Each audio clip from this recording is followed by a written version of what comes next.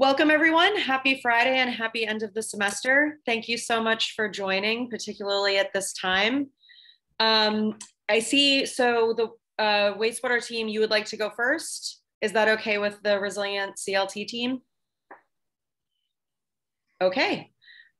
Um, then without further ado, I'll just let the teams take it from here. Um, we're pretty flexible on the amount of time that you take for your presentation because we're only two teams.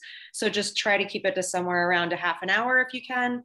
Um, and then we'll have some time for discussion and feedback from uh, Kyle, Hillary, and Michael. Thank you so much. Take it away, team. Thank you, Catherine. So tonight we are presenting our project titled Toward a New Paradigm, Implementing Reimagined Coastal Wastewater Infrastructure. We are the third capstone group at City College looking at the Jamaica Bay 26th Ward Wastewater Resource Recovery Facility as a site for next generation infrastructure, incorporating advanced circular economy technologies with community benefits. Our group is specifically looking at removing barriers to the implementation of the vision developed by our preceding capstone team and supported by the site assessment of the first team. To quickly contextualize this project, we have to mention the timeliness of an upgrade to a wastewater resource recovery facility. The proposed upgrade to the site we're going to introduce you to on the next slide is worthy of consideration because we're at a pivotal moment in our country where our infrastructure has reached the end of its lifespan. We have an opportunity to reimagine what wastewater infrastructure can look like, who and to what degree of a sustainable future it can serve, and leverage it as a once in a generation investment in jobs, health, and infrastructure and social resilience as our climate changes and threats to these elements increase. Federal, state, and New York City level policies speak to these goals, a closed loop triple bottom line vision. In this presentation, we will share how and why a closed loop wastewater recovery facility, public campus, immediately integrated in its environs can benefit surrounding communities and natural environment and relieve food, water, and energy resource burden on its surrounding communities. We'll share a cost estimate for this upgrade and then dig into specific barriers we've identified and paths to overcome such barriers to encourage adoption of what is considered a mega project, a project that requires multiple agencies collaborate, a lot of money, and community considerations.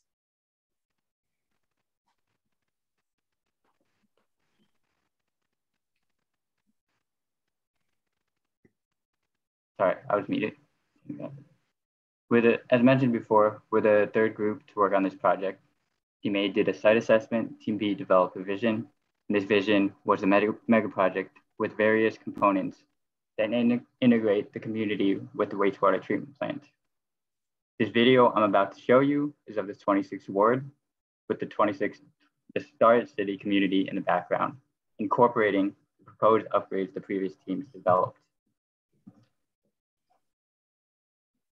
It includes an outdoor food market to tackle food insecurity in the community, a solar farm that will make the plant net zero or net positive in the future, a pedestrian walkway to allow access to the coast with a berm, with a berm and floating wetland system that will provide flood protection. Wastewater treatment plants will be upgraded to have public art that will attract more people to the coast and will add co-digesters that mix food waste with sewage waste to provide energy and nutrients for the other components in this project. The Starrett City community will get community operated facilities, a restaurant slash brewery, and an eco bridge that will allow easier travel to the mall nearby. Oh, why is it still playing? So in thinking about the components that define this project, we determined that the convergence of each project component serves to address topics such as renewable energy, coastal resiliency, community resiliency, urban agriculture, and waste management. So in addition to the flyover video you saw, we also developed a conceptual cost estimate for this project by breaking it up by the components you just saw and extrapolating the cost based on multiple case studies that we found. The general takeoff table which calculates what happened to the table. Okay, I don't know what happened. Um, The takeoff table was calculated based on square footage, and the table on the right showing a small sample of the case studies used and the extrapolated costs based on sizes of the plants and based on each parameter or component. To extrapolate based on size, we used a simple ratio between the wastewater treatment plant sizes. And for the parameter cost, we ran a regression analysis, which involved graphs like this that could be used to predict component costs. Obviously, it's not perfect or as accurate as it can be. There's a lot of assumptions we made, which you can read about in the paper, but it was a good exercise in understanding the challenges that go into cost estimating a large project like this, such as figuring out which variables affect the cost. And the total cost of the project that we calculated with a 30% contingency or safety factor added is about 2 billion US dollars over 20 years. Now, funding a project of this magnitude and scale is beyond the public agency's scope of work and spending, spending budget and will require interagency cooperation mixed with private dollars. It's also important to note that this project will not be built all at once and will be broken into phases based on components.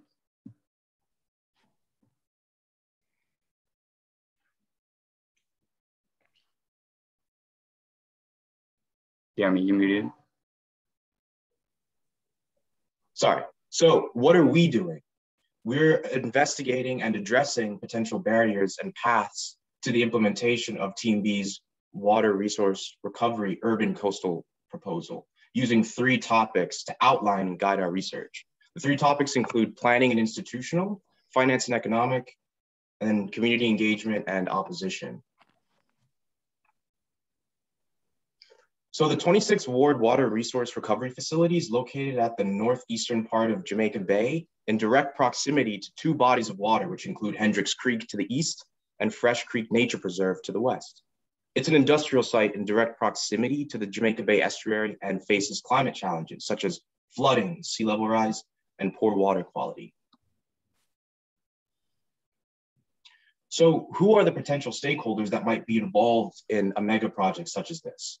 So we've determined that New York City agencies and sectors that include business, civic services, culture and recreation, environment, housing and development, as well as the community stakeholders in sectors which include agriculture, environmental justice, nonprofit organizations, educational institutions, community boards with community members, religious institutions, and housing and development. Why? why are we investigating and addressing barriers and paths to the implementation of this mega project? So we are investigating ways to align public and private agencies and organizations with project components and tessellate each piece with one another to ultimately, one, encourage interagency coordination by unifying goals and by connecting government stakeholders to elements of the project, Two, we're trying to merge public and private assets to develop funding and financing mechanisms for the mega project. And three, we're ultimately trying to promote community health, wealth, and social capital through uh, participatory planning processes and a series of community-centered project components. So we have to ask, you know, how, how did we go about formulating a strategy for investigating the ways in which we can implement this mega project? So we created a conceptual map to visually track our thought processes as well as make connections between ideas. By starting with a central research question, which is what are the ways in which we create a synergy or hybridization between circular economy technologies and water resource recovery infrastructure while providing community benefits such as health, wealth, and social resilience? Through this, we were able to create a frame into which potential solutions would fall. From there, we decided that one way of addressing the central question was to think which elements might prevent the realization of the mega project. And in that conceptual methodology, baked into the question was a solution to guide our research. We needed to think about barriers to the implementation of the mega project and consider potential paths. So moving forward, we took the idea of barriers and distilled it into three main topics in order to help guide our research.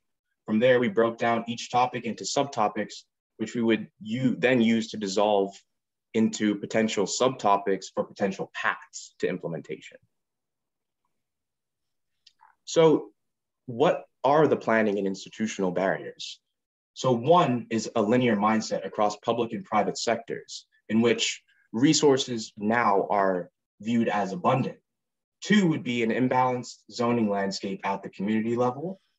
Three would be fragmented planning mandates that increase difficulty for creating things like equity and inclusion within land use and budget planning frameworks. Four would be a lack of interagency coordination, creating redundancies and limitations for New York City to achieve uh, citywide goals. Five would be potentially inadequate proactive planning for communities due to out, somewhat outdated zoning documents. Six would be lack of policy levers to address challenges, uh, which are linear economic challenges in their nature. And seven would be an inadequate assessment of capital needs at the community level. So mirroring the potential barriers are the potential pathways. So one would be create a circular economy mindset across public and private sectors. Two would be to analyze the sort of exclusionary policies that exist within New York City zoning uh, resolution frameworks. Three would be to formulate a long-term comprehensive planning framework. Four would be to develop interagency coordination strategies. Five would be create a vision for supporting investments and growth across neighborhoods. Six, to develop policy levers for the transition to a circular economy. And seven would be to refine what's known as the Asset Information Management System report to reflect infrastructure needs at the community level. And to understand what that is, the report itself itemizes planned spending at the asset and product level.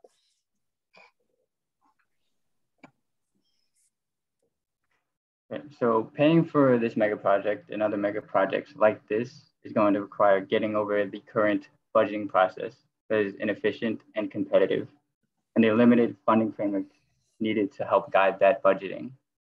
There's also a lack of legislation that enables public-private partnerships, particularly in New York, which would bring private financing into these projects and would additionally come with the challenge of finding and creating the right partnerships for the project.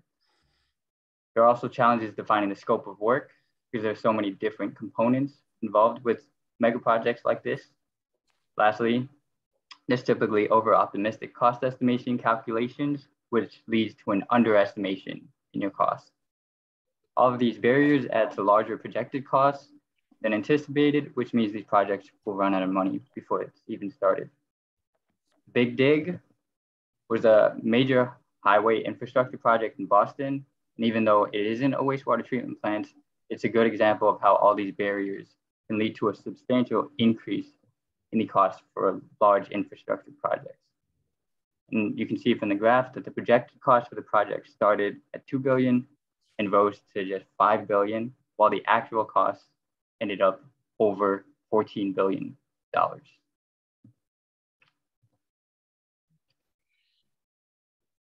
There were a few major topics that we looked at as ways to finance and fund these projects, mega projects, which include public funding, private financing, and how to combine the two.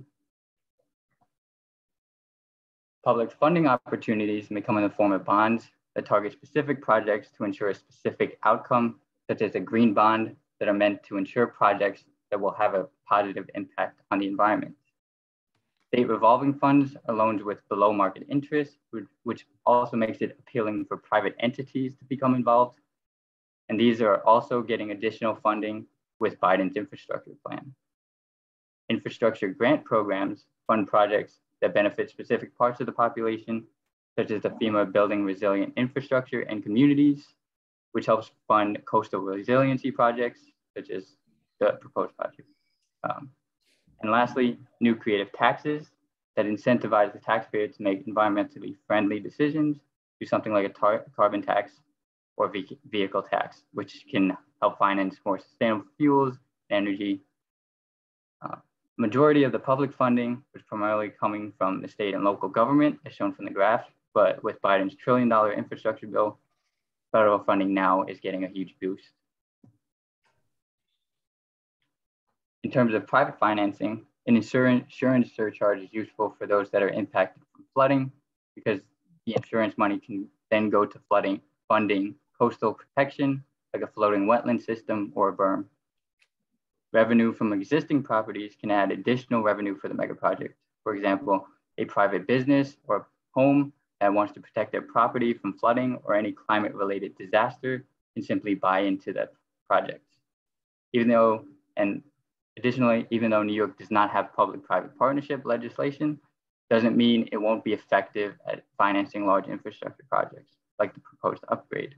Case studies across the United States prove that it's highly effective at reducing project costs and bringing in millions of dollars in revenue for any city.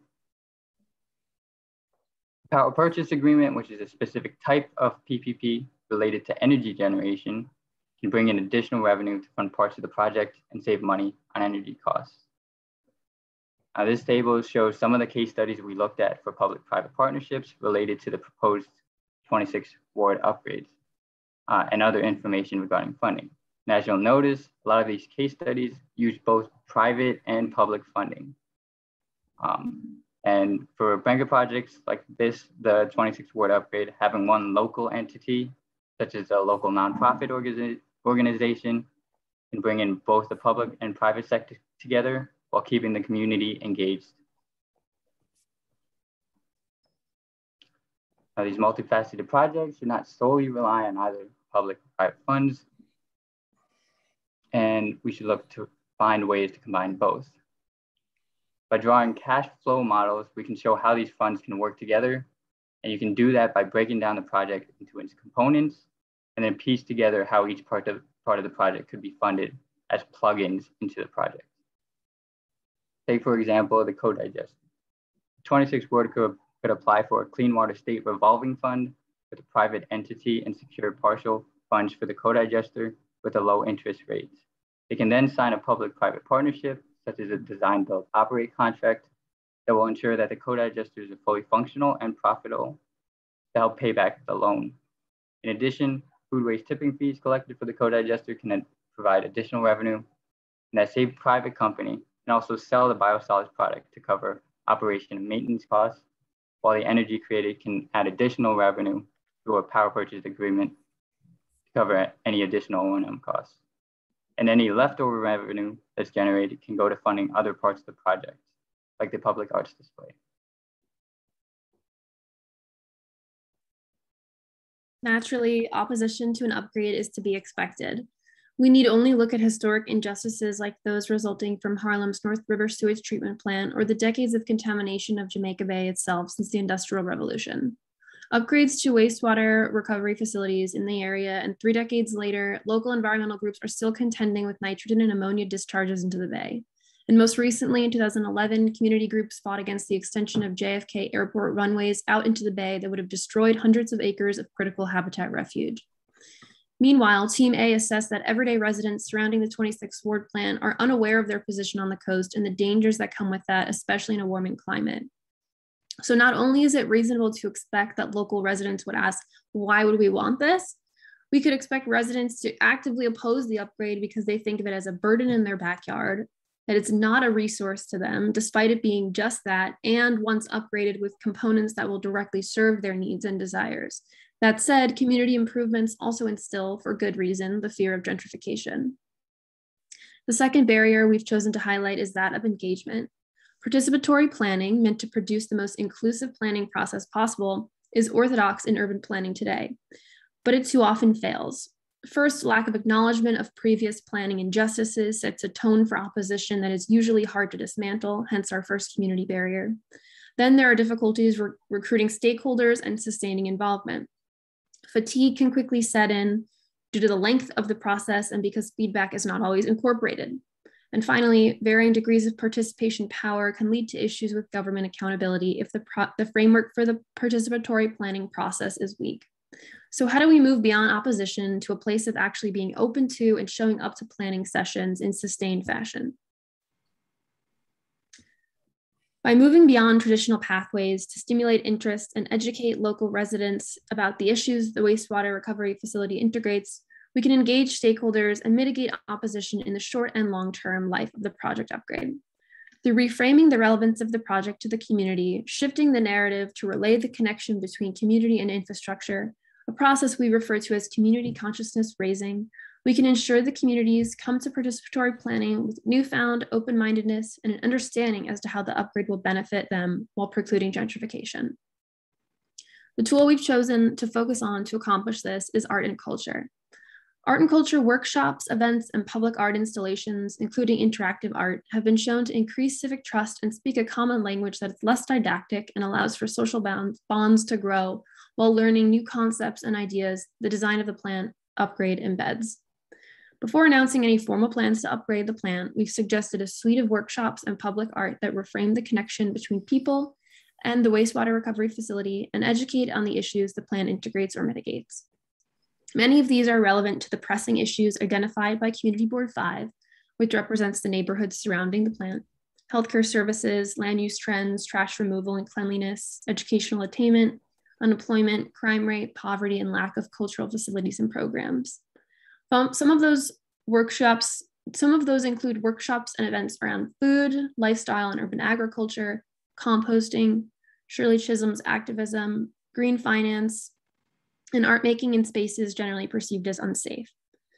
That package in our final deliverable also contains a list of local, regional, and national artists and or art organizations that can serve as partners or collaborators in workshops or events, as well as experts in social, environmental, and economic subject matter during the participatory planning process. The second phase in the community path would then be participatory planning.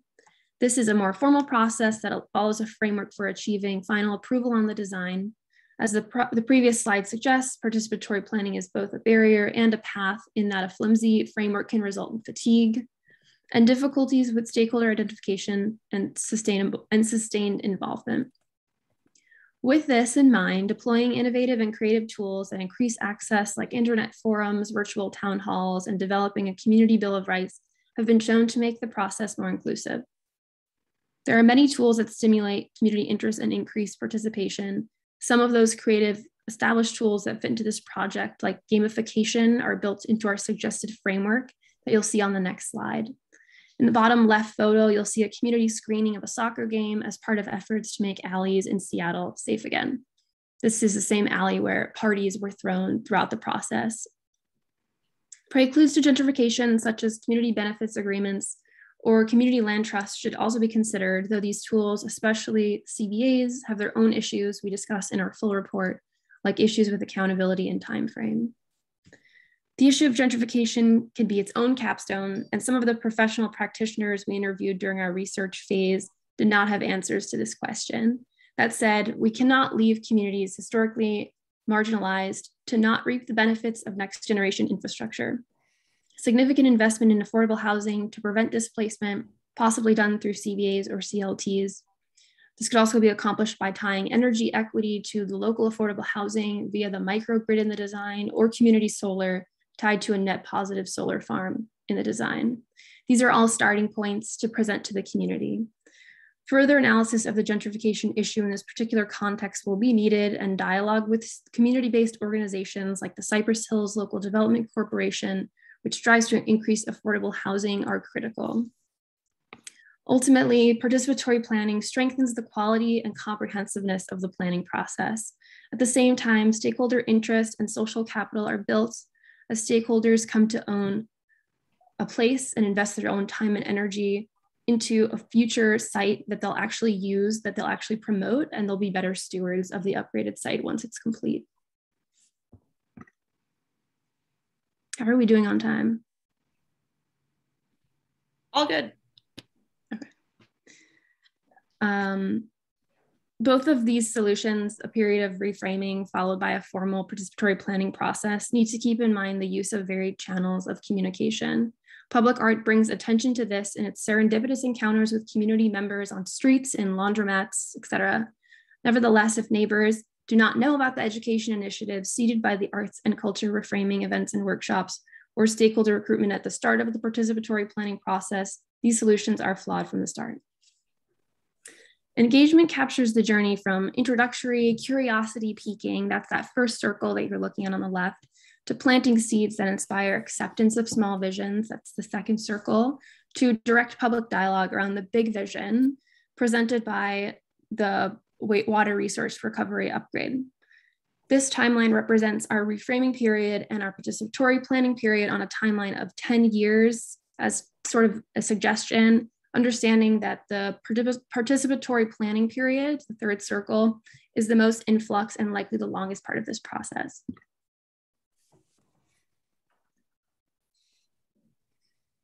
Small visions, again, those first two circles include concepts the water resource recovery facility encapsulates or will later encapsulate. Starting small with the concept of the food, energy, and water nexus and engineering infrastructure itself lends well to public art installations and interactive art, such as a VR experience using real-time building energy consumption data, and then building upon that in the second circle with, for instance, anaerobic digestion tied to composting workshops. A highlighted case study that could fit into this timeline is an exhibit that took place at the Torpedo Factory Art Center in Northern Virginia by artist Stowe Len, which involved residents of Alexandria, Virginia, contributing to the artwork by flushing their toilets. The work he's completed is the first artist in residence at a wastewater treatment plant that is a collection of photographs, prints, and found objects. Uh, for instance, a pair of prints of brownish swirls was created by applying paper to the surface of a settling tank at the AlexRenew wastewater treatment facility. A suggestion in our deliverable for the 26th ward in this that would fit into this first circle is a jungle bus. The transformation of a bus on a local route into a jungle complete with soil and plants.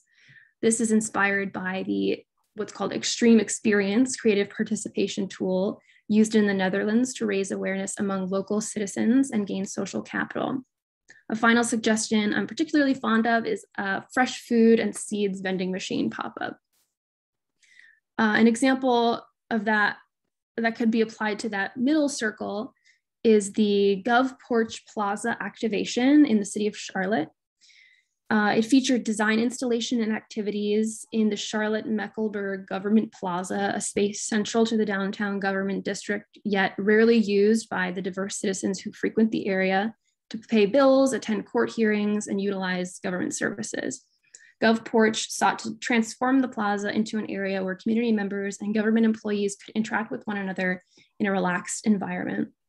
It incorporated a range of design elements like giant wind chimes, a ping pong table, and large beanbag chairs. First Friday events when the space uh, was activated with live music, interactive chalkboards, a mini library, and food trucks had the greatest impact. Uh, those activities boosted confidence in local government and community pride to the tune of an increase of 23% believing that government understands community concerns, an increase of 19% believing that government is responsive to community needs, and an increase of 15% proud to live in the area. A suggestion for the 26th ward might be guerrilla gardening, where local municipal leaders can invite residents in the surrounding communities to plant seeds donated by perhaps East New York farms in raised beds on or adjacent to the site. Or another idea is creating, hosting a workshop where folks create an artificial wreath with common household waste like plastics. And finally, on the in the, the on the right side, the furthest to the right, the participatory planning process folds in on itself over time after circling through the framework in that outer circle. Evaluation should form a core part of the participation process in order to determine if the chosen method and approach were useful, if social capital was built during the process, and if the end project plan benefited from the participatory planning process. If not, the circular approach of this process means it can be repeated and lessons learned brought into repeated cycles until an isolated vision is zeroed in and agreed upon. There are many frameworks for participatory planning. There is no blueprint and there are many complexities. The reality is that participatory planning is often neglected. It takes the form of a survey or it lacks creativity and innovation. So the framework that we've proposed for this project is founded on dynamism. The process um, has an eye towards sustained engagement. And we've done this through recommending creative tools. And in addition, many of the small vision tools can be recycled here with the greater attention to place that is the, the site itself, its connection to community and the natural coastal ecosystem, rather than simply the space it occupies. So to quickly go over that process or that framework that we're suggesting, it starts with identifying and recruiting stakeholders, um, which is, as reflected in previous slides, one of the biggest barriers or hurdles. This step is particularly important though, as it sets the foundation for the quality of the process. So we've done the identification part. We have in our final deliverable an extensive list of stakeholders. Um, however, it's important to note that the entire community cannot and will never be part of the entire planning process, but adequate stakeholder and the level of stakeholder involvement should guide the planning process to be successful and comprehensive. So the next step would be taking a community snapshot um, and then getting the word out. And that includes in Spanish and English, considering the demographics of this area. Then we'd convene an initial meeting with a determined DEP leader and personally invite as many people as possible, make the meeting physically and linguistically accessible once again, hold the meeting in a safe location, and provide refreshments.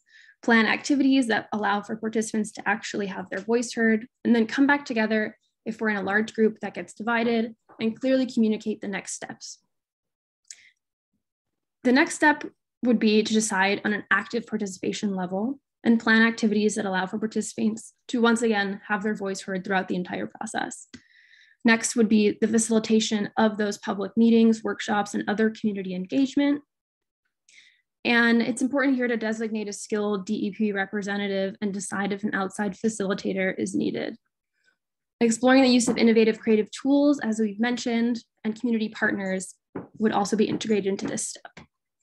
Then we'd have to decide who will issue the final approval of the upgraded plan and when.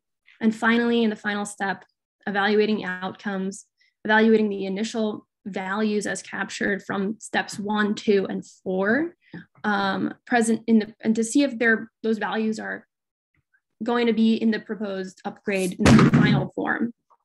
In this way, the evaluation phase links back to the start of the process in the appraisal, in the appraisal or community snapshot step.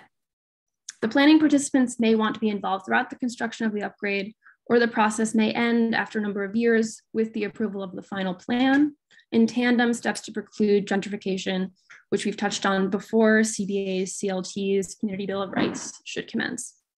And finally, engaging community members in participatory budgeting processes that help set public space priorities should round out the plan. So as we move forward and gaze into the future, we imagine water resource recovery facilities as closed loop infrastructural ecologies that incorporate synergistic frameworks, which one, close system loops to bridge the gap between food, energy, water, and community. Two, reframe concepts of waste to potentially generate revenue. And three, incorporate community driven elements that improve community health, wealth, and social resilience.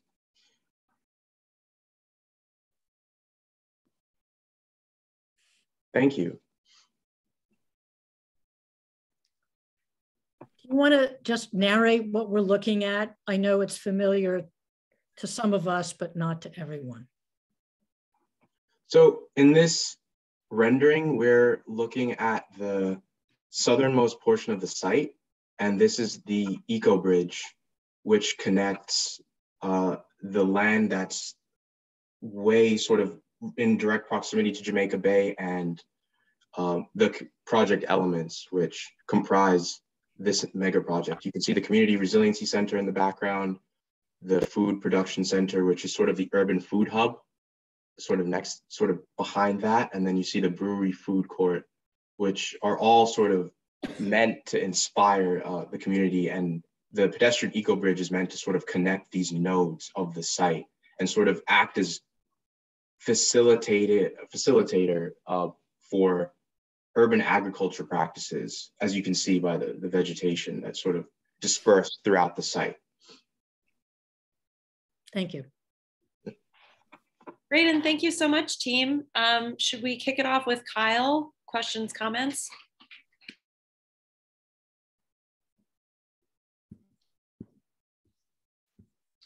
Uh, can you go back to, uh, that was very nice. That I, I, I think I learned a lot there. Um, can, can, you go back to your uh, um, where you were talking about your um, definition of barriers? Um, I, am curious. You had a lot of these barriers, and uh, also you talked about uh, this pathway, uh, pathways of let's see, let's take a look at this. Okay, uh, I think it was, after, it was after this. You had the linear pathways of uh, the various impediments. I'm just uh, wondering if you could say a few words about how you defined all of these um, and how uh, how specific are they to the particular region you're talking about here around Jamaica Bay versus how this might be applied elsewhere? Uh, I think, you got back too far. Slide. Jeremy's first uh, barrier slide.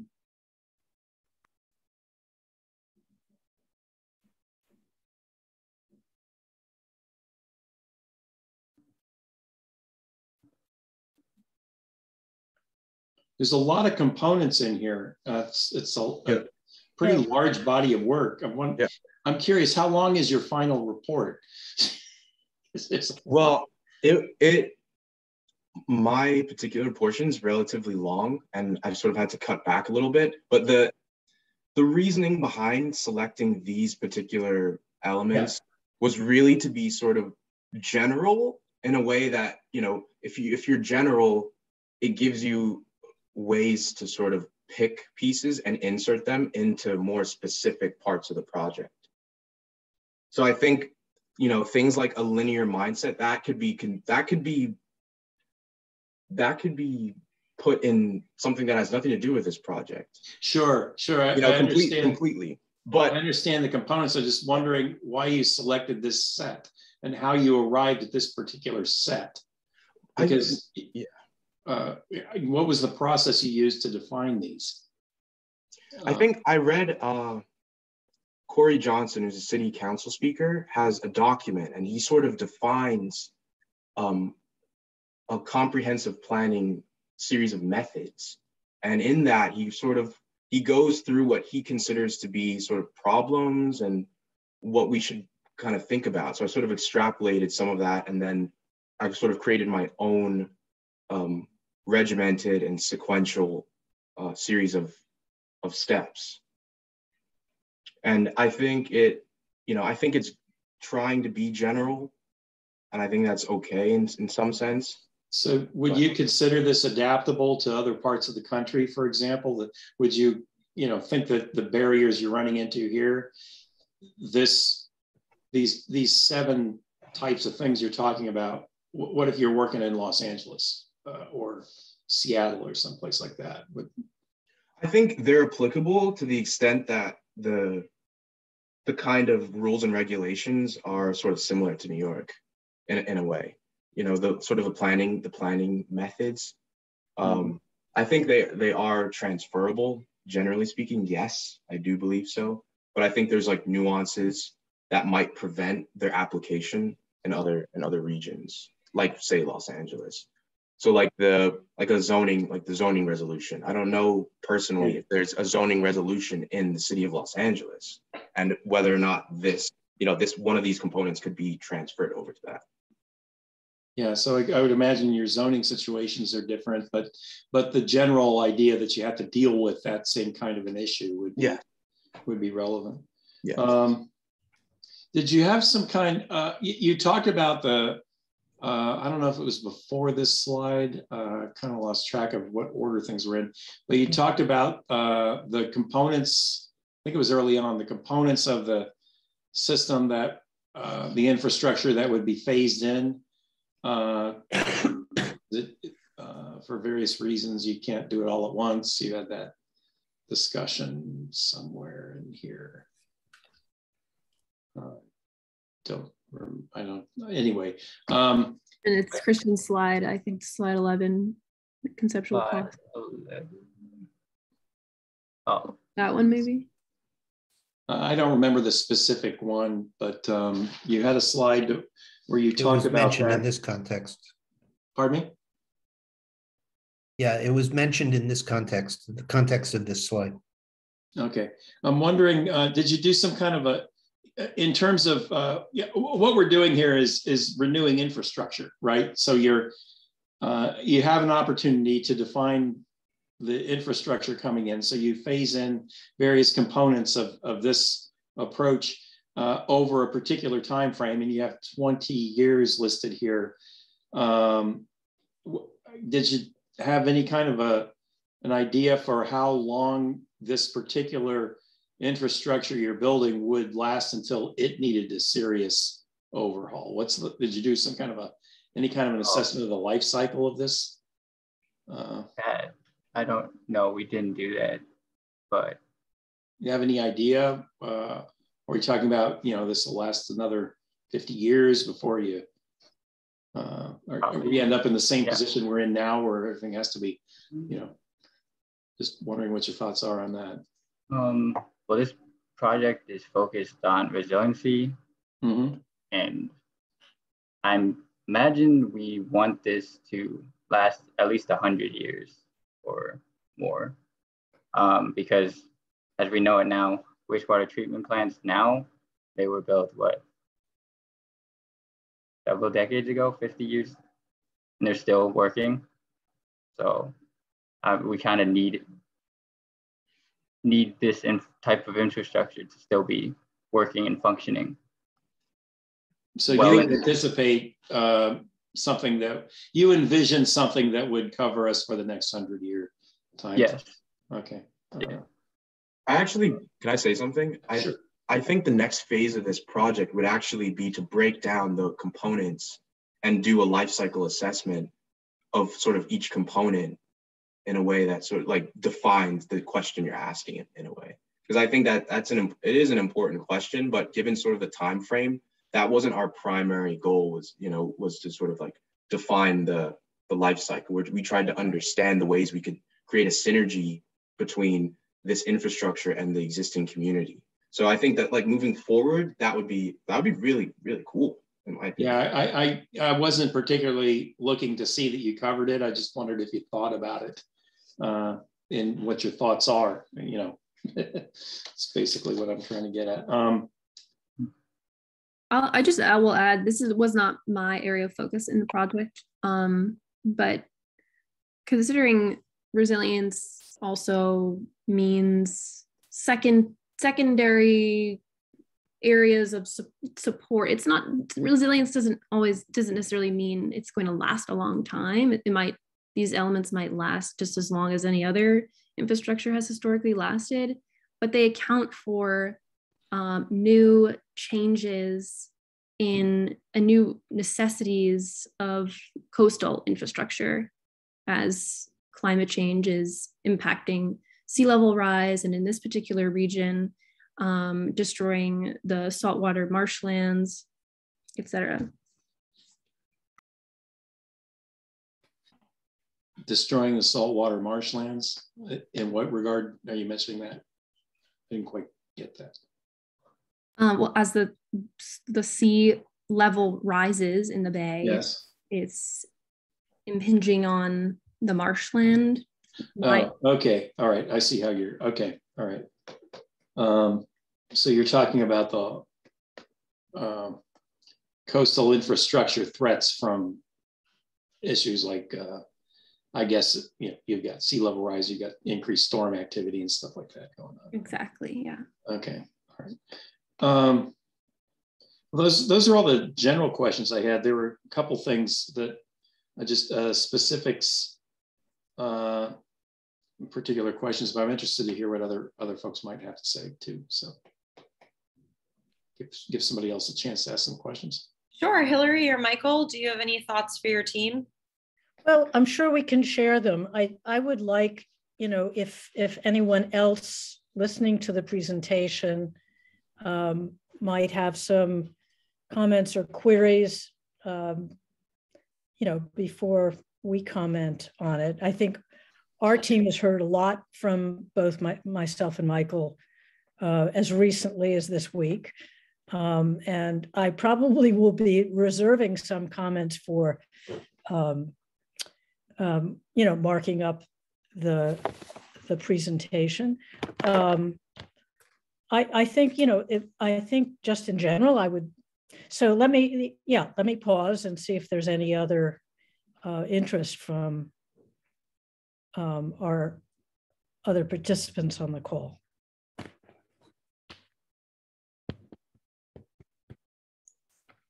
Yeah, so I think as I was looking at the the estimations of costs, I can help but you know wonder about the sort of economic benefits, um, and I'm sure that is you know you'd have to break down each part and sort of really do a um, like a cash flow analysis and and bring into sort of social and public benefits along with things like more uh, tangible like selling energy um, and I, I, yeah i think yeah when i think of reasons why public or private would invest in this stuff i think of um, yeah what's what's also to, to gain out of it in in uh, economic terms. Great great presentation by the way. Thank you so much. Yeah, Jay, I think that's I think that's really astute, and it, it really does sort of suggest a series of next steps. I think that you know the team as they've um, as as they've struggled to you know grasp uh, the magnitude of the project, the complexity, the the multi-headedness of the teams of the of the actors involved um, have made certain assumptions. We, we all make certain assumptions about, you know, what are the co-benefits from, um, you know, the restaurant and the brewery um, affixed to a wastewater treatment plant. And so, uh, you know, and as well as the urban ag, I mean, it, it, it makes sense to us because we've been thinking about the proximity and the, the food, water, energy nexus for a long time. But, you know, a further um, listing of, of the benefits would be kind of part of a next um, step in terms of selling this um, to uh, the DEP and the other agencies so that it's really clear you know why the complexity and why this hydra hydra headed um, or hybrid facility makes a lot of sense.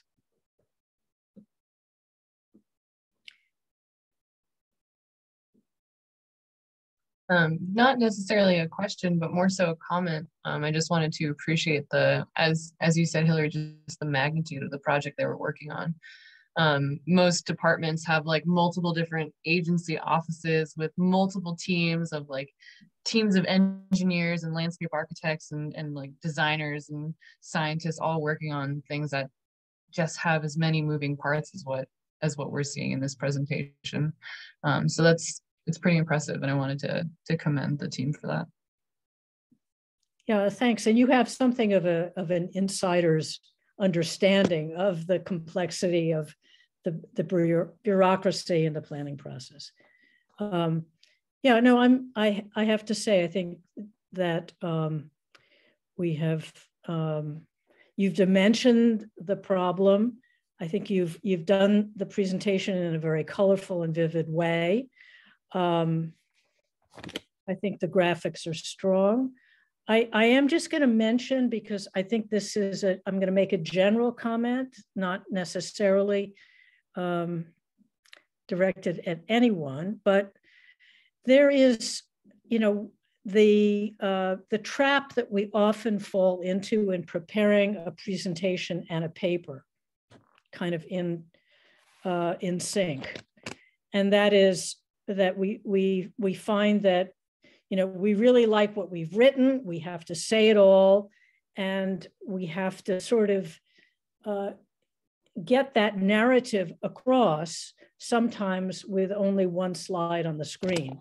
So it, it creates a kind of a disconnect for the audience between what we're looking at visually and what we're hearing. Um, you know, so Sabrina, for example, with some of your uh, slides about the, the community engagement and opposition, you know, you, you had a lot of uh, verbal description, and I think it would have, um, frankly, would have been very helpful to have added some slides that uh, we could then track. Um, no, I'm, I'm, I'm going back a couple of slides, I think. Yeah, I think these, these you know, were uh, on the screen for like two minutes or three minutes. And um, they were, you know, great uh, bullets to capture the essence of what you're saying. But um, then you went on to much more um, uh, robust descriptions, and it became a little bit of a disconnect between what we were trying to understand and the visuals. And this is a trap with, with many presentations that I've seen. So I'm making a point of it in a generic way. I knew you would say that, Hillary. So it's fine. All right. I just said I knew you would say that, so it's oh. fine. yeah. Uh, but you know, I I think that it's very hard once you've written the script to then, you know, connect it to the the visual information which probably preceded it. Yeah, yeah without yeah. I got a little lost there. Question of feedback, self yeah. self critical feedback. Yeah, I, I, I did. I also got a little lost in all the words that were said to some slides that had seemingly few points on them. Yeah. But you went a lot into detail on particular points and spent a lot of time on them. It, it would have helped follow the visual a little bit if, if those were expanded on. Yeah. I have a specific question for Christian and then a, a broader question for Jeremy, I think. Um, so Christian, just um, detail um, you know, your cost estimates are based on on uh, comparables on case studies that you looked at. You you showed a partial table of them. About how many case studies, and just approximately, all told across all your sectors, about how many case studies did you look at um, and find you know costs for? So I think it was ten per component. So uh, so what have you got here? 10 components. The components are down on the left of this slide, right? Or the column on the left? Uh, the first column? Here. Hold on. So each of these circles is a component? Yeah, I, yeah.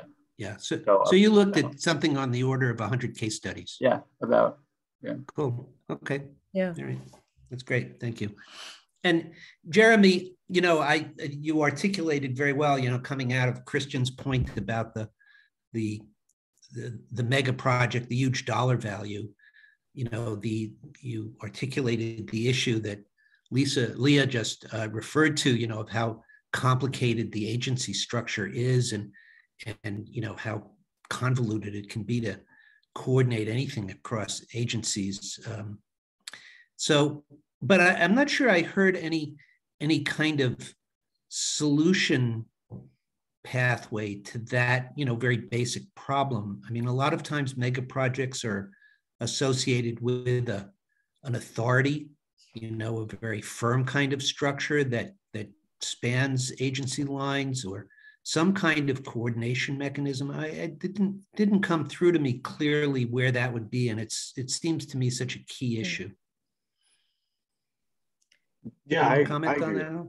Yeah, yeah, I, I, agree with that. I think I could have been more. Uh, I could have explored the strategies in depth more in the presentation for sure, but I didn't want to get like bogged down by each you know individual sort of you know strategy because they're mm-hmm. they are dense and they're fairly complex and i feel as though yeah. that's something that can happen um, in another presentation where we isolate that one thing and sort of then go into you know each strategy because it it is it's probably one of the larger topics of the pathways and barriers to explore but it's also really dense and i felt as though it might not have had a place in this presentation just because of it it's so deep it's deep it's, it's it's a deep dive. It's deep and it's complicated, but that's why politicians like authorities because they can sit, they can by yeah. fiat say, you know, cut through all of the difficulties by saying, okay, this is how it's done. This is how it's going to go. And, and then the authority has the authority to, to cut through all the stuff. So anyway, Yeah. okay. I agree. I Good enough. agree. I agree with you. Yeah. Yeah. Yeah, I think, you know, the- understanding the complexity of the New York City planning process, plus the, you know, what the agency jurisdictions are and how siloed they are, it, it does, you know, it does sort of beg for a larger, um, uh, I guess authority is the word, you know, it could be uh, some, some kind of a, a special district Yeah. uh, or something designated at the state level.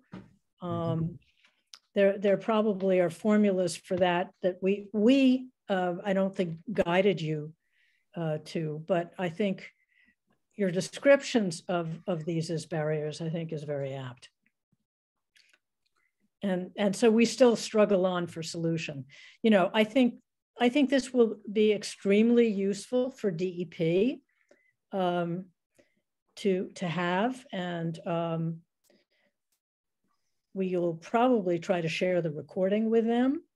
And, you know, it might, it might spark some, some deeper questions uh, for them uh, about, you know, what, what is the capacity of their agency and how limited they are uh, in being able to move a heavy lift such as this. And so where would they go? Um, who could they bring in? Those types of questions. Uh, Leah, you had some other comment or?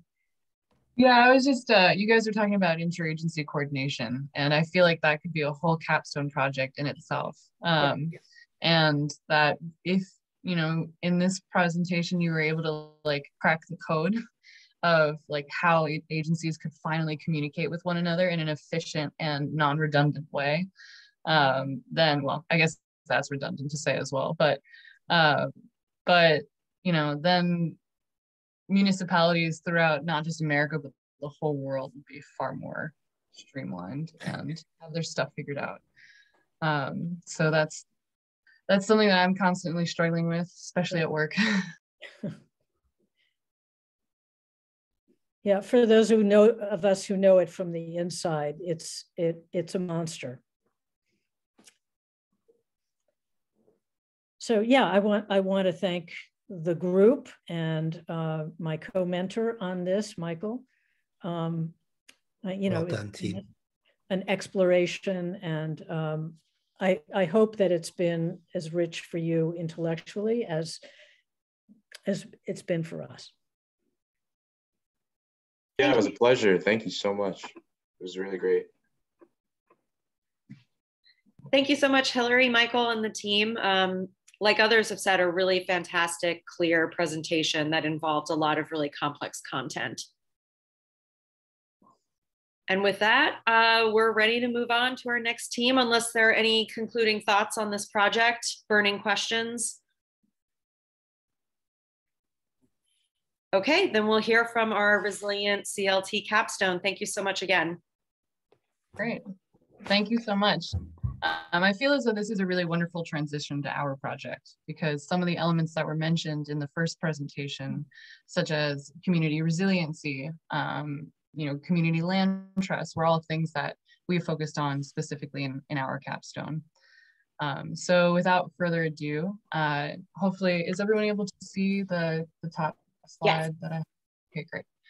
Um, so good evening, everyone. Welcome and thank you for attending tonight's presentation with our capstone group.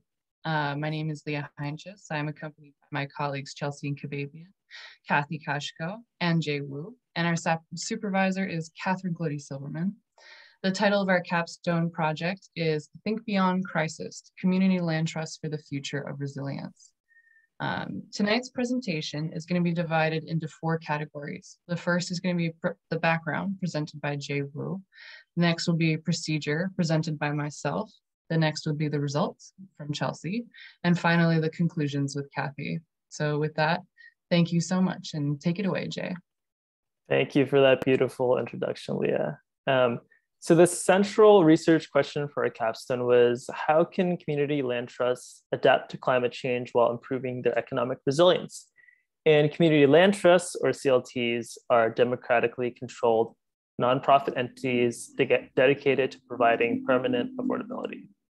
Uh, given that the opportunities for CLTs are highly dependent on local policy context, we wanted to bound our study geographically so that it was specific enough to directly benefit existing community land trusts. For that reason, we picked our home state of New York. As we performed our background research, it became clear that there are very few community land trusts today in the entire United States, let alone New York, that are focused on climate resilience. But there's a growing interest in this space. So to help close this gap, we studied and interviewed organizations that operate under a community ownership model or provide consultative services to organizations with that model, but few were community land trusts themselves. Next slide, please. So most definitions of climate resilience describe an ability to prepare for, absorb, recover, and adapt to ha hazardous climate events. But to understand what makes a community resilient, we have to drill in into three elements of resilience as framed by Steven Tyler and Marcus Moench. Physical systems refers to infrastructure that brings us water, energy, food, transportation. Agents are the people and organizations who use or manage those systems. And institutions are the laws and customs governing those agents' interactions and decision making. Next slide. For each of these elements, certain qualities lend themselves to climate resilience. Resilient physical systems are distributed and networked. Resilient agents are resourceful and responsive. Resilient institutions are participatory and inclusive. And these are all relevant for community land trusts, as we'll see. Uh, next slide.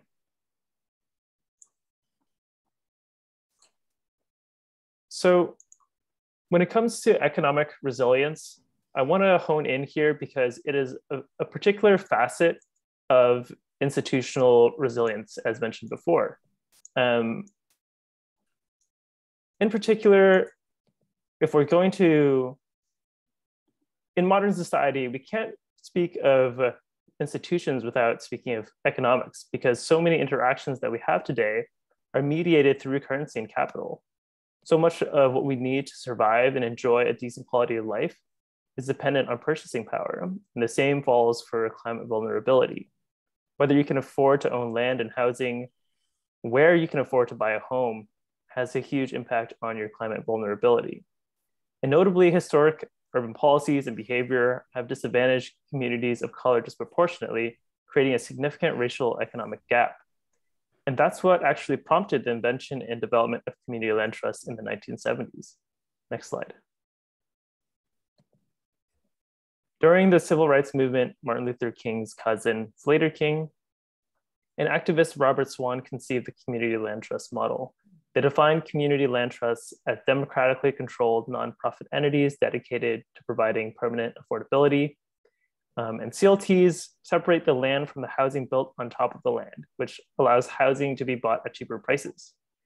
The CLT's board usually consists of elected appointees, some of which are CLT residents, others are community residents, and others are public representatives. And it's worth noting this democratic community ownership means that a group of people collectively possess the benefits and risks associated with the assets, and that they vote on leadership and important decisions. There's a direct through line here to the socioeconomic aspects of resilience mentioned earlier. The people most climate vulnerable have a voice in planning for climate change and have the resources to act on those plans.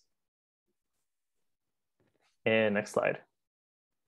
Uh, from here on, we're going to move on to the, our procedure for this project, and I'll hand it off to Leah.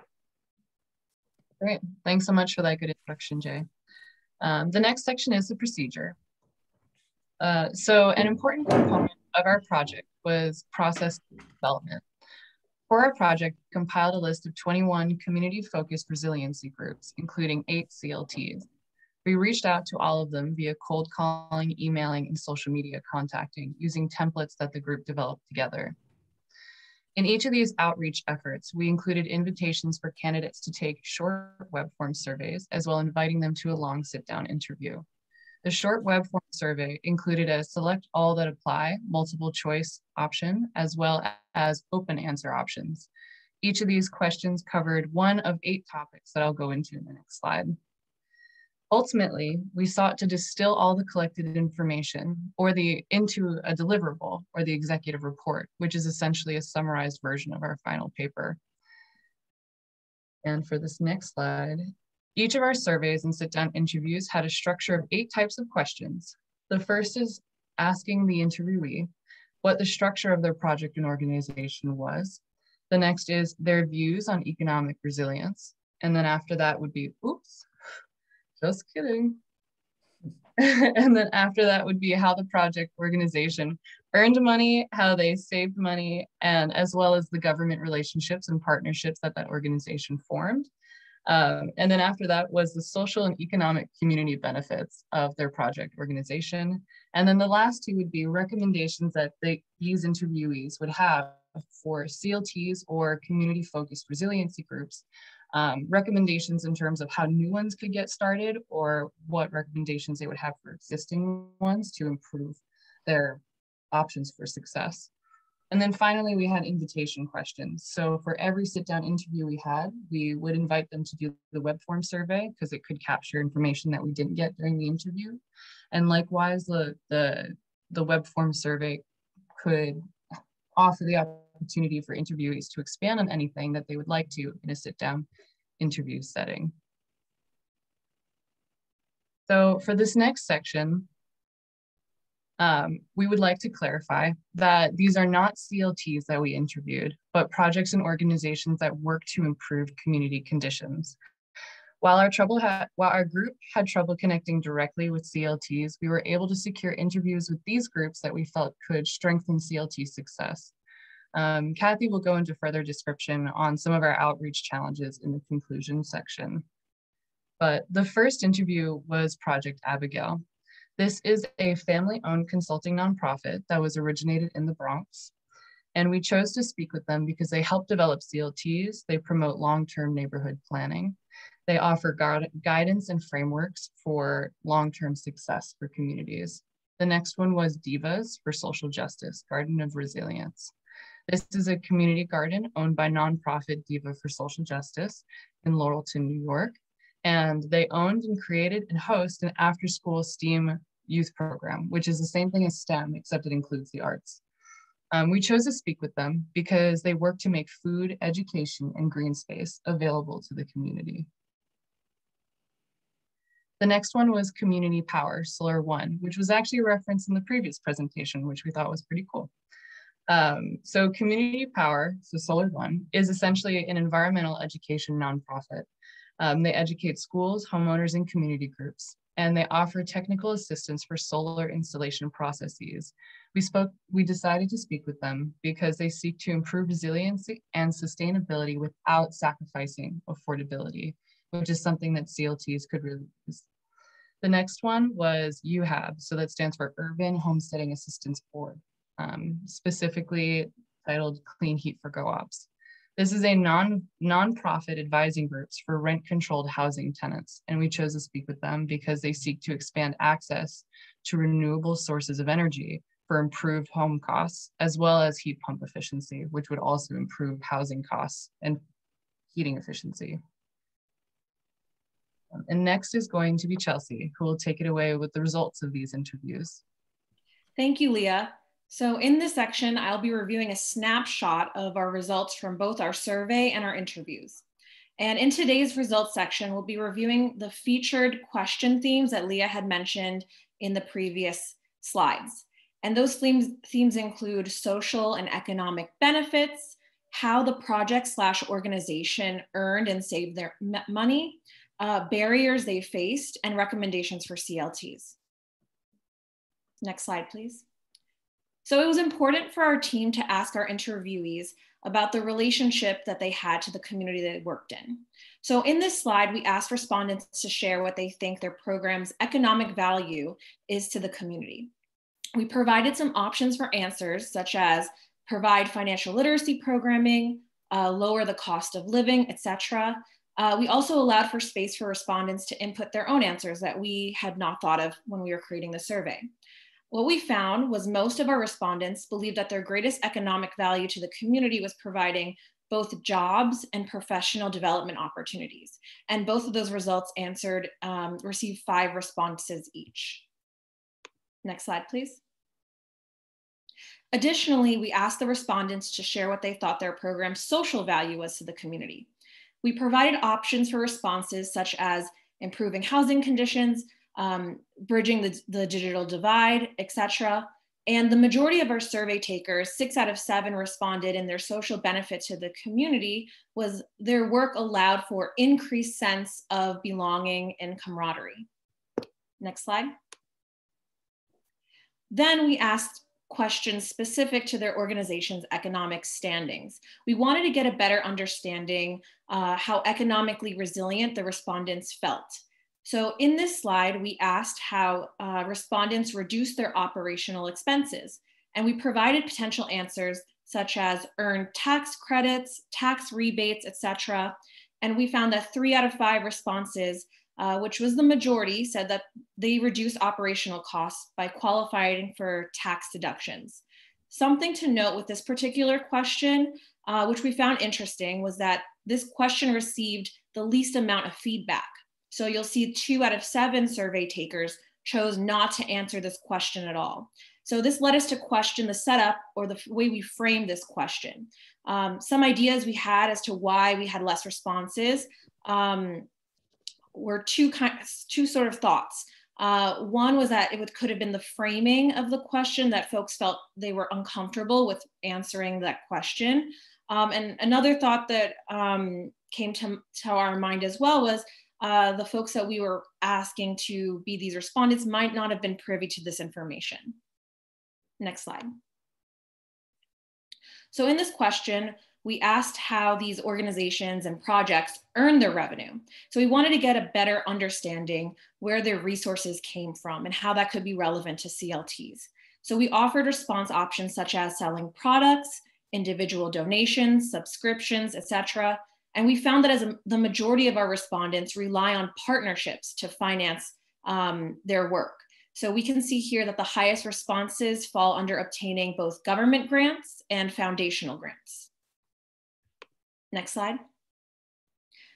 So in this graph, uh, it looks a little bit different than the others. This is extrapolated information from the open-ended responses for both the surveys and the interviews. And we looked to find trends with both. So we added open-ended questions and answer sections in the survey to allow for unexpected answers to arise. And interestingly enough, uh, we saw trend, trends in these responses from both the survey and the interview, uh, which I'll be sharing in this and the next three slides. Um, you'll see in this slide, uh, we inquired about the barriers faced by organizations and projects. And you'll see that the responses varied, but across all respondent types, the unanimous barrier faced was the administrative process. So all five, five out of five respondent types mentioned this as their biggest barrier. Additionally, four out of five respondent responses saw that permitting was a big barrier to the work. Next slide, please. We also wanted to get insights on where these barriers could be improved to best facilitate the work of these organizations and, and projects. So we asked respondents for their ideas for improvement. And we found that the recommendations often tied with the previous question about their barriers. Uh, and so the highest responses regarding improvement centered around financial opportunities. Next slide, please. And lastly, uh, the last result we're going to showcase today uh, were the recommendations our respondents had for economic resilience and success. So we asked respondents to give advice to CLTs that they wish they would have known when they first started the work in order to achieve economic resiliency. Um, we also framed this question about strategies and best practices. Uh, the top, what we noticed was the top three recommendations that our interviewees and surveys um, responded to were strengthening partnerships and government funding, uh, getting involved in policy and advocacy work, and increasing opportunities for community and youth employment.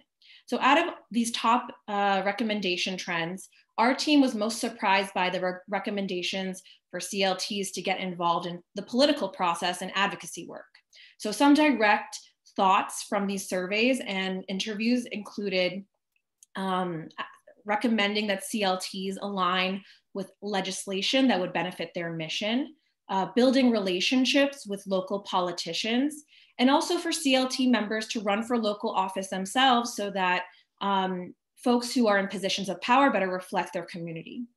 So now we're going to move on to the conclusion section where Kathy will go into further detail about our interpretation of the results. Thank you so much. Great. Thank you, Chelsea. We will now discuss the key takeaways and findings from our research, limitations, our deliverable, and recommended future projects. Next slide, please. Going back to our, our central question, our project objective was to study how New York City CLTs can adapt to climate change while improving their economic resilience. After reviewing our results, one of the major takeaways from our research is that CLTs have limited resources to invest in climate change and economic resiliency. Because of this, they're not self reliant, but rather need to engage in partnerships.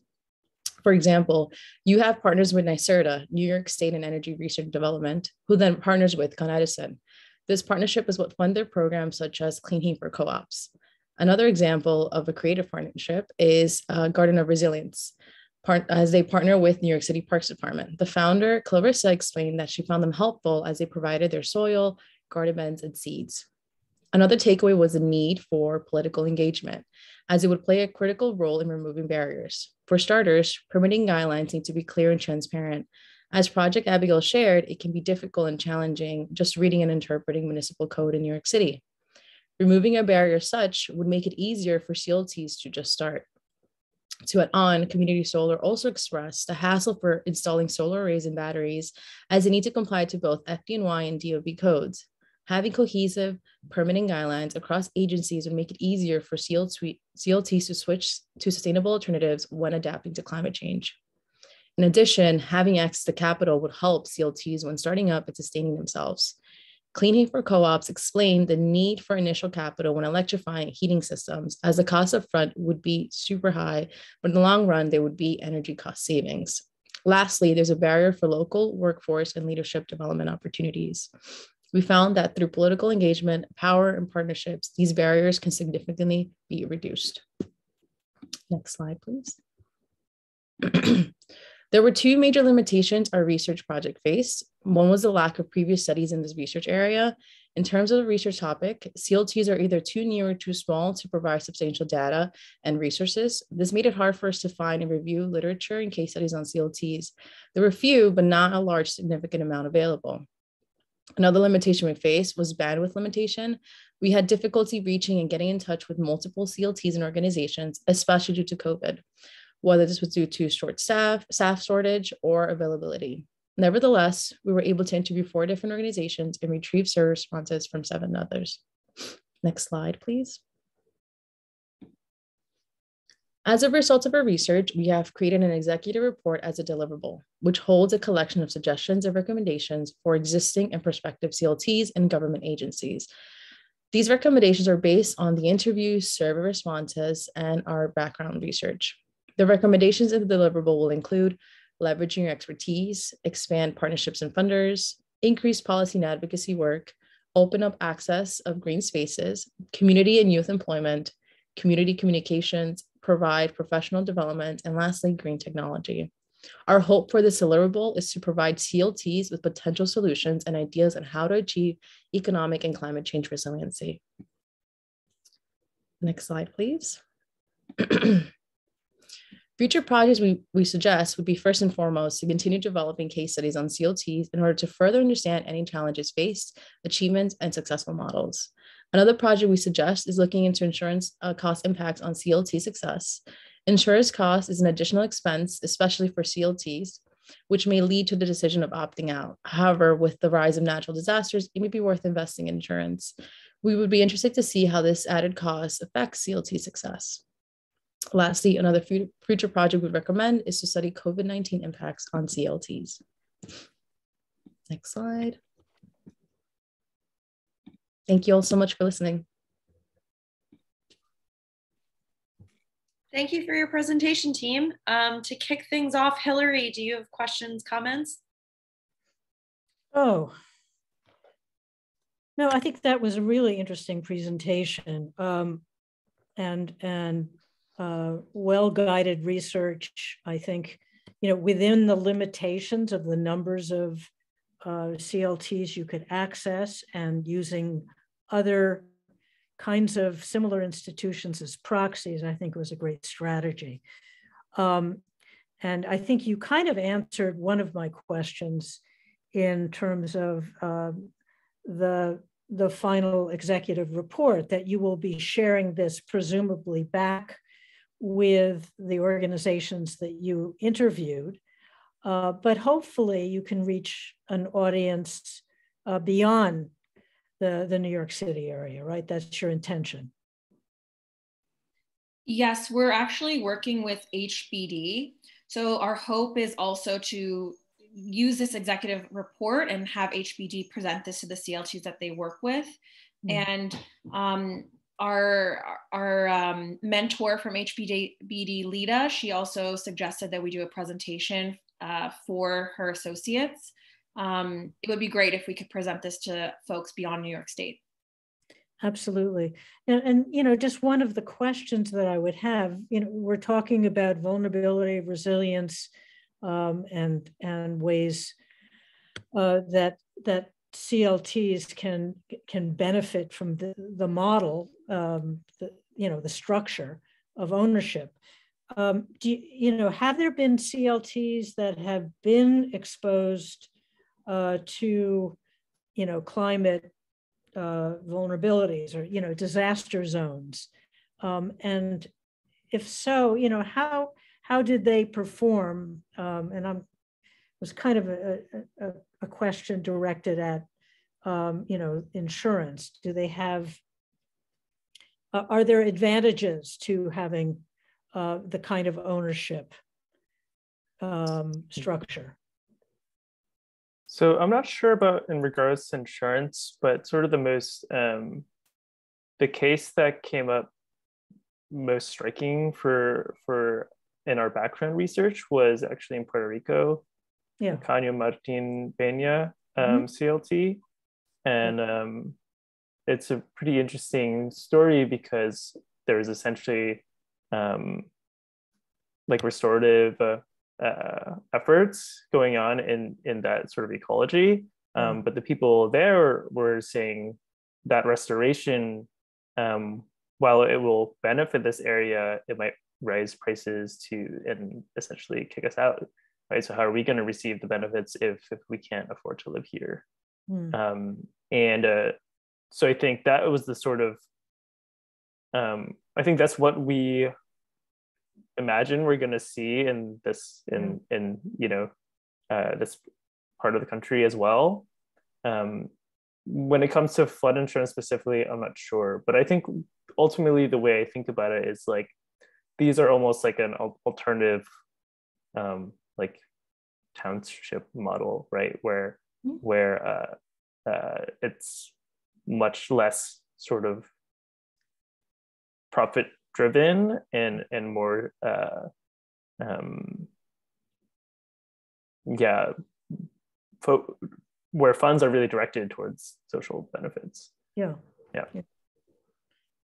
To, to kind of add to what Jay was saying, um, it could be really interesting to know some of the impacts directly directly correlated with the insurance component and the resiliency components.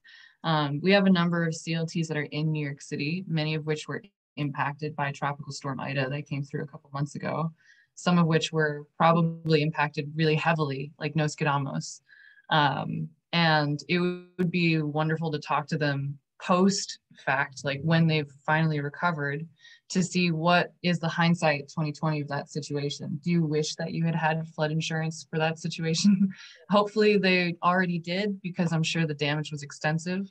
Um, that was one of the reasons why we had so much trouble contacting CLTs during this time is because a lot of their efforts are about housing of their residents. And right when we were doing our outreach is when all the tropical storms hit the area. So of course it, it impacted our our able ability to connect with some of these people, but it would be really wonderful to talk to some of these these community land trusts after the fact to be what would were your takeaways from that experience. That could be a follow-on capstone.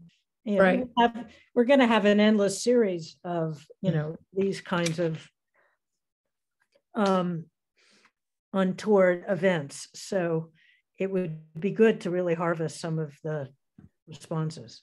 Right. And and to add on, just to say that there isn't that much like case studies done. Um, there were three that we focused on because, and there were such a limited amount. Like it was just um, DNI, uh, Durham um, Community Land Trustees, and Champlain. Like these are the only ones that we really had any case studies available in any literature review. So um, yeah, it'd be great to have more of that available just to, you know, provide that information to other prospective CLTs who are interested in starting up, just providing that um, information as well. I mean, it would be interesting to find out, you know, say in in the Delta region, you know, right, the Delta, are are there organizations that have um, sustained uh, themselves, you know, through inundation, and you know how how did the CLT model advantage them.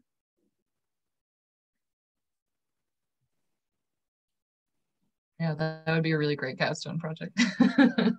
Follow up one for this one.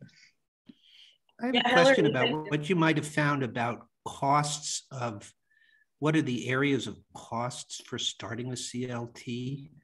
So, you know, I'm particularly interested in the the anti-gentrification idea of using the the CLT.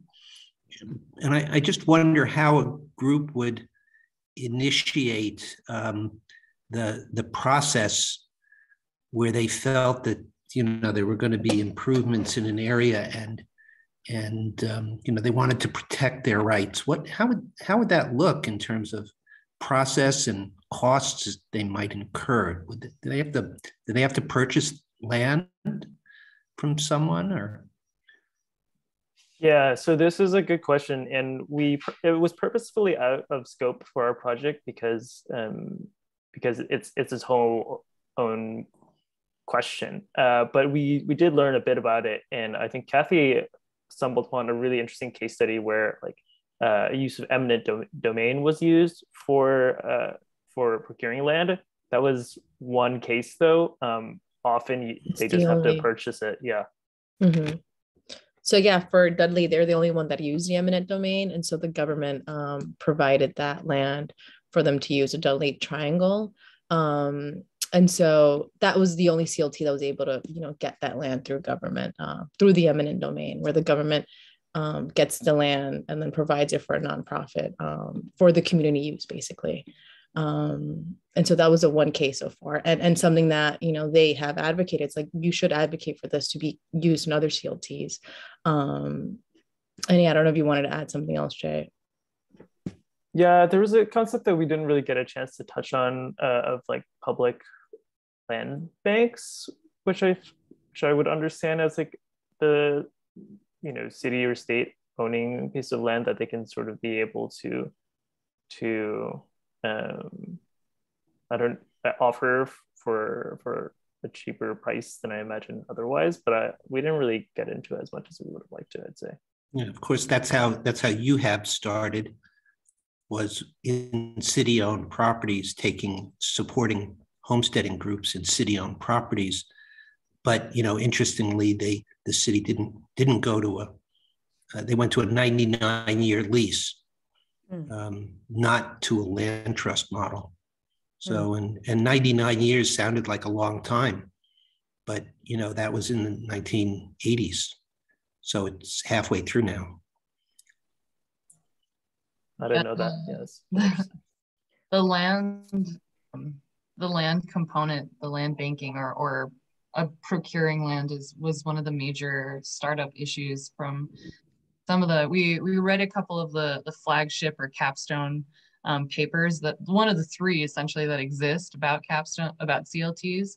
Um, the one by Jessica Grannis called I think it's Community Land Equals Community Trust or resiliency. Um, and in the beginning of that paper, she says one of the number one issues for CLT to get started is to obtain that land because the nonprofit organization, which is composed of people in the neighborhood or you know locals, they don't necessarily have that capital to compete with private developers to buy that land to begin with, and then to right. begin the development process.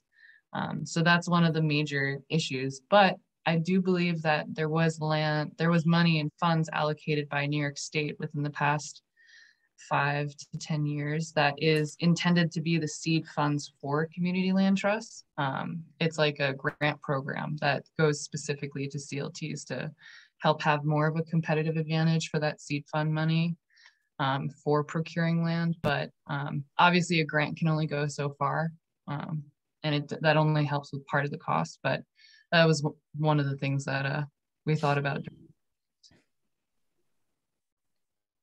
So I, I have a, a rather. So if a group that was in a climate challenged, if a group that was in a climate challenged area, um, you know, where their where their homes had been damaged and you know they'd had one event already, um, w- would you recommend that they land trust their try and land trust their land to protect themselves, or should they should they, you know, like be trying to land trust some land in Ohio or something?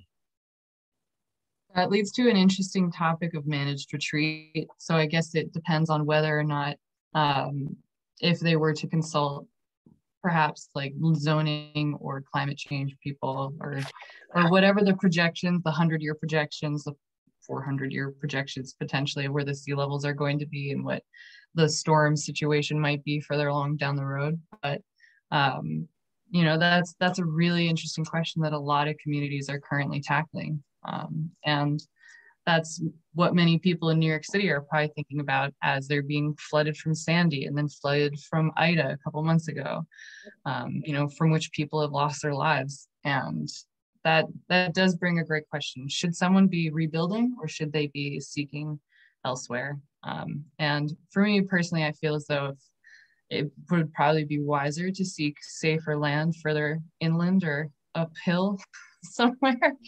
Um, but uh, I don't know if, if, anyone else on my team has uh, have thoughts or feelings about that question. And, and I realize that question is way out of scope. So thank you for that answer. I, I just want to add on to that. I just want to add on to that that um, the precipice of the of our paper and our research question came from uh, our literature review and our relationship with HPD, where um, it was shared to us that a lot of the current CLTs that will be facing climate challenges are facing these barriers of, of cost and, and how they can sustain being a CLT um, when finances are is a really big issue. So that's where our study and our research into these interviews came along, which, which was to try and provide some support and to provide some options for current CLTs or maybe even new CLTs to think a little bit outside of the box um, to how to become economically resilient with these different strategies and tools that we've, we've gotten from our interviews and surveys. Just to add a tiny bit of HPD context, that's um, the project also kind of came out of the Resilient Edgemere project, which is a CLT in Edgemere, Queens, which is part of the Rockaways. Um, and it did form, my understanding is it formed after Sandy, so a place that is very much in a climate vulnerable state and might someday be a candidate for managed retreat uh, they decided to stay and instead create affordability and uh, a resiliency model through CLTs. Yeah, um, and an important point. Sorry to. Oh, sorry. Is it okay if I add one more thing, Hillary? Please, please. Okay. Um, something that is worth mentioning is that you can dramatically increase the resiliency of a plot of land if you add certain protection features, um, either various bioswales or you know various exposures to add you know you know like Stilts. permeable surfaces. Yeah you know, like something that could add additional protection so that's that's something that clts could and very well should consider um, for the future resiliency of their of their land if they're not in a directly vulnerable location. And could be a topic for a future capstone project as well. Yeah i well, just coincidentally, my my most recent interest area is in managed retreat. And I hadn't been thinking along lines of CLTs as a very interesting mechanism. So I may wish to be in touch with one of you.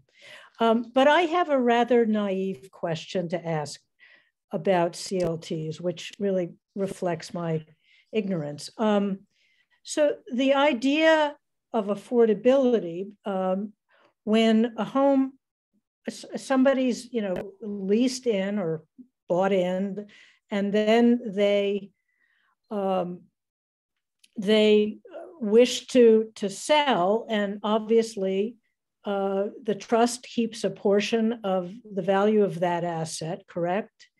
Um, and and so my question is is does does the CLT sort of reduce the um, opportunity for people to build equity um, at all? I mean, has, has that ever come up as, as part of a discussion question? Does that yeah, make sense? Absolutely. Yeah, yeah. Um, the answer is yes.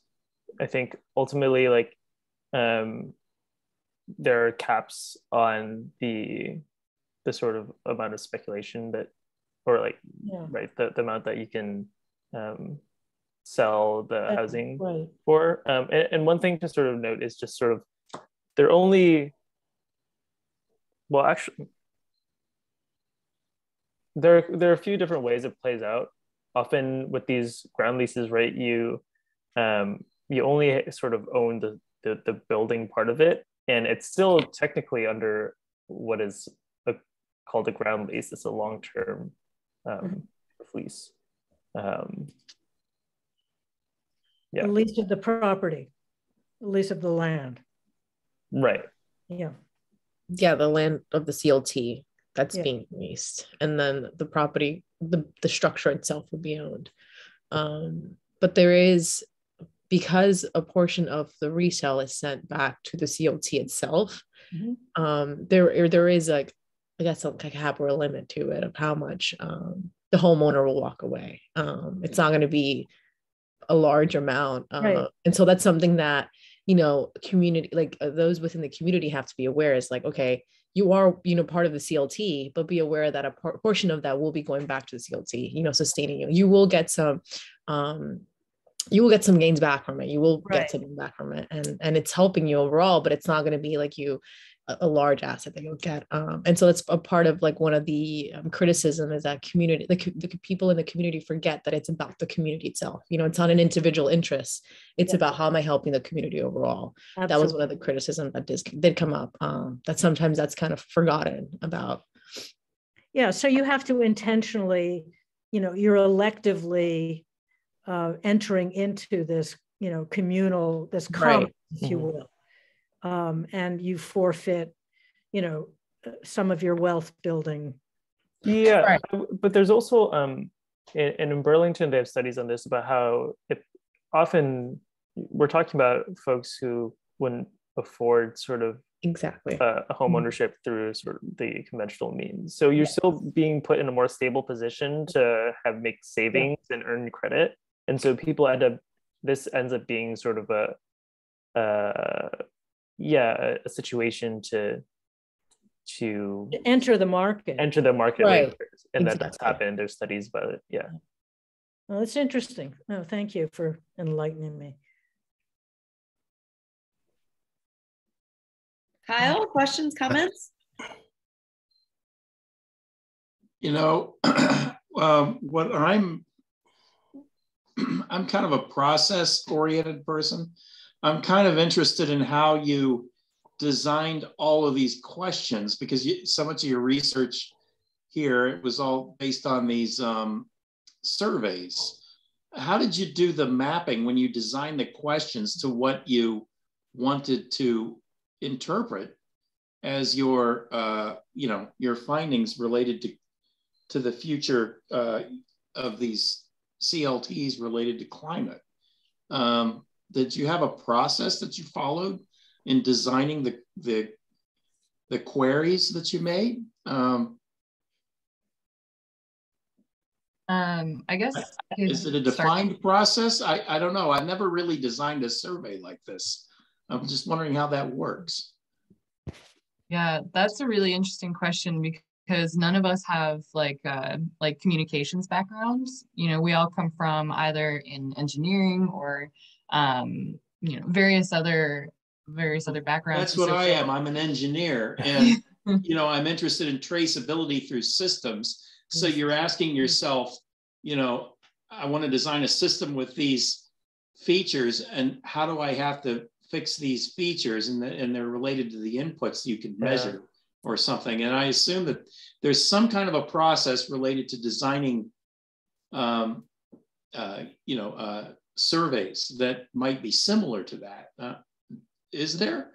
So, so my girlfriend and partner um, is like a user researcher for a living and does does surveys for uh, like a, a company called Etsy.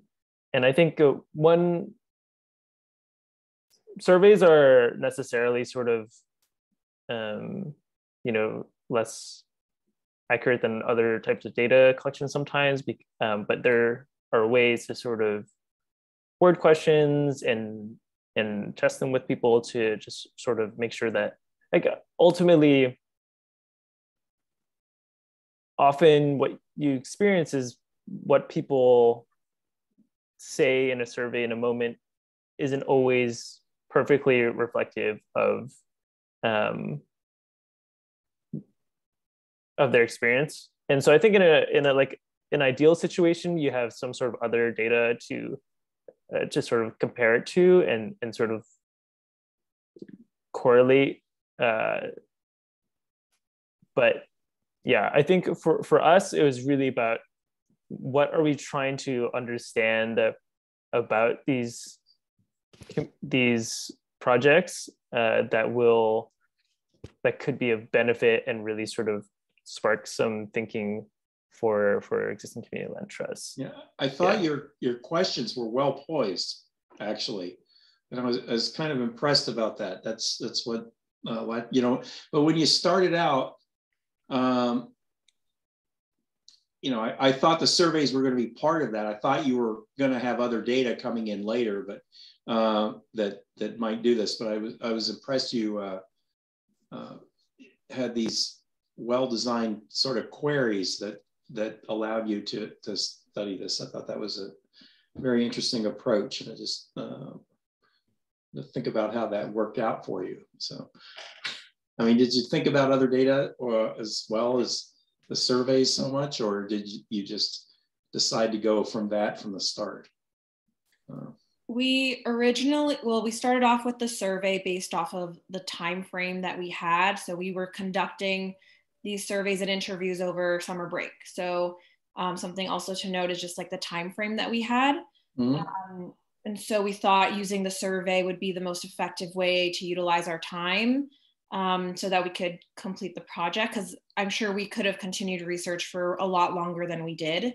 Um, the original, we originally thought of widening our scope by tapping into CLT's um, like list forms for CLTs all over the US, but then it created a little bit of complications with our scope of, of our question.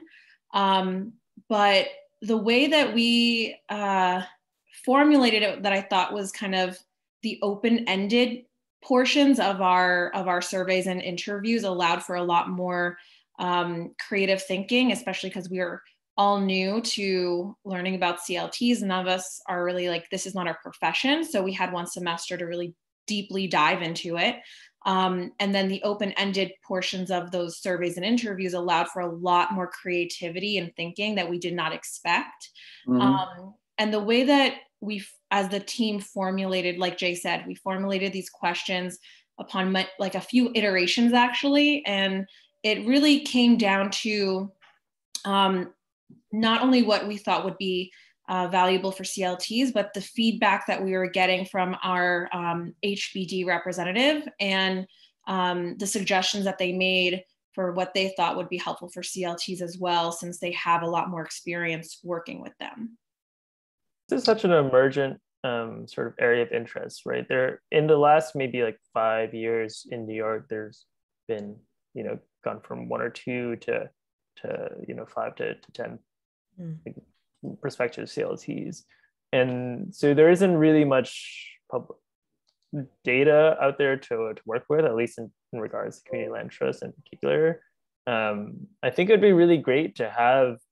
I think maybe we sh- it should have been in the future recommendations to have sort of big public data sets um, that that have sort of quantitative, uh, yeah, that that help us understand what community land trusts are from a quantitative standpoint.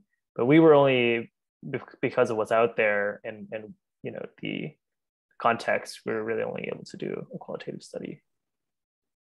I appreciate that answer. Thanks.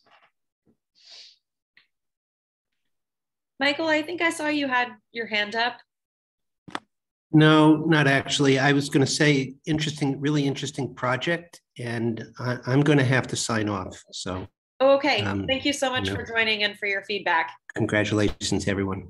Thank you. Thank you. Anybody else? Questions, comments from the audience?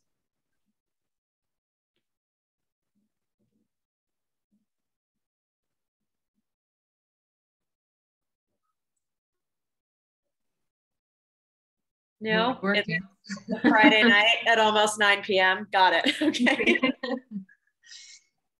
well, if there are no other thoughts, um, just to conclude, thank you so much to both of the teams for really clear and really excellent presentations. Um, congratulations on completing this milestone in the program. And for those of you who are graduating, especially if you were full-time students over the last three semesters, congratulations on graduating almost entirely online, if not entirely online. Um, you would be, and hopefully are our first and only cohort to do so. Um, so really congratulations everyone on, on completing these projects in such a difficult landscape. Um, really great work. Yeah, and, and thanks to you, Catherine, for shepherding not only this one, but a host of others at the same time. So um, yeah, great work, everybody. And now on to the paper, right? Right. yeah, hopefully something's written down, but yeah, it's up to your mentors when you submit that, um, since grades aren't due technically until the 28th. Yeah. Um, and just a quick housekeeping item. So your grades from the first semester that just read satisfactory performance will be changed to whatever letter grade you receive for the second semester. Any other concluding thoughts before we end? No, Thank well you so much. Thanks. Okay. Happy holidays, everyone. Happy New yeah. Year. To you. Congratulations again. And thank you so much for your presentations and your feedback. Yep. Thank you. Happy thank holidays, you. everyone. Thank you. Good night and good luck.